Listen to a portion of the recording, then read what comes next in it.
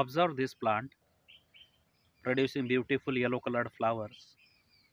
The name of this plant is Sphagneticola trilobata and it belongs to the Asteraceae plant family.